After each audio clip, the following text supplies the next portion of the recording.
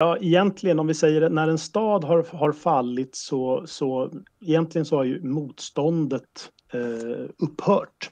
Och eh, angriparen har väl egentligen tagit över staden eh, och kontrollerar den. Men eh, det innebär ju som sagt inte att kriget är slut eh, i sig. Va? Utan eh, vi måste ju veta vad, vad målsättningarna är för, för Ryssland i det här fallet när det gäller alltså ta över städer eller ta över en huvudstad exempelvis.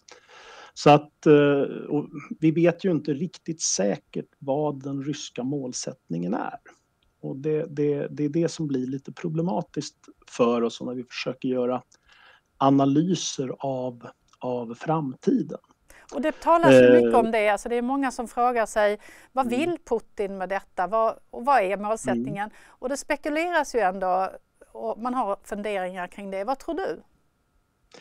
Eh, ja, så, som historiker så vill jag gärna, ogärna uttala mig om framtiden, men det, man kan säga så här att, att eh, alldeles oavsett om, om, om Ryssland vill annektera hela Ukraina, vilket jag själv tror är, är, är rent ut sagt omöjligt att göra. Det, det, är en stat på 40 miljoner invånare, varav ganska många absolut inte vill tillhöra Ryssland på något sätt. Det har ju visat sig eh, senaste dagarna om inte annat.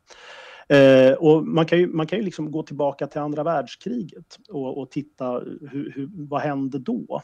Och där gjorde ju stater motstånd eh, Eh, under hela kriget. Polen gör ju aktivt motstånd 1939 till 45. Och så det här är inte alls en enkel, enkel sak. Eh, när, när tar kriget slut egentligen? Och det man kan säga så här att vad Ryssland är ute efter sannolikt det är ju en, en, en politisk lösning. Man, man, man, man kan nog sannolikt inte ockupera hela Ukraina. Eh, det där kan ju vara ord som jag själv kommer få äta upp längre fram. Men, men eh, sannolikt så, så, tror jag att det är svårt för dem att göra det.